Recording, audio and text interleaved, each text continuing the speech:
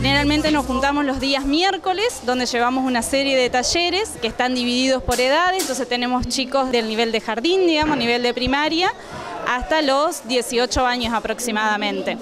Eh, se plantean distintos juegos recreativos, tenemos un taller de fotografía, también hemos tenido de computación,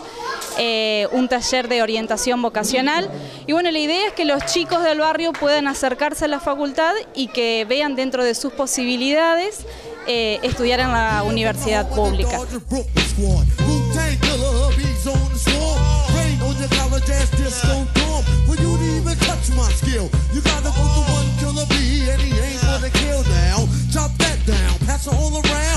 Lo ayudé dando ideas, o sea, dándole idea de cómo era, cómo se armaban más o menos las cosas, cómo se juradea, después le mostramos cómo rapeábamos también, o,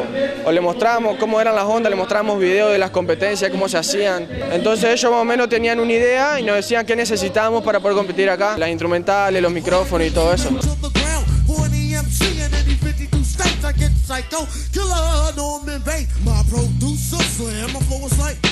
Participa con nosotros la organización Por Todos, un grupo de, deportistas, integrantes de las vecinales de los barrios, los representantes, así que somos un grupo numeroso que entre todos llevamos adelante este proyecto. Está bueno porque te da a conocer un poco más de lo que la gente por ahí no conoce mucho, por ahí es una movida muy linda,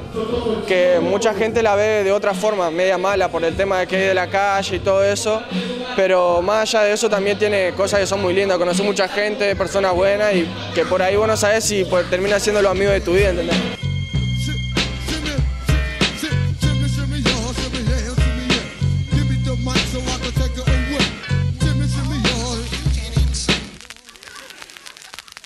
Yeah, just saying that something get some pussy.